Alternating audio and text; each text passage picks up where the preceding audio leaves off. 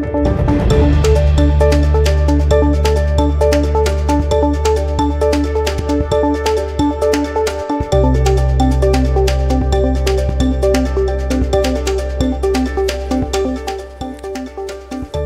खबर इस वक्त की रणजी चैंपियन बना है मध्य प्रदेश इतिहास।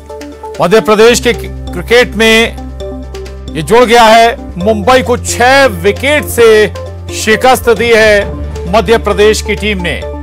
तो रणजी चैंपियन बना है मध्य प्रदेश आपको बता दें कि इससे पहले 22 साल पहले भी ऐसा मौका आया था जब मध्य प्रदेश इतिहास रचने के करीब था, लेकिन ऐसा हो नहीं पाया था। और अब जाकर यह इतिहास रचा गया।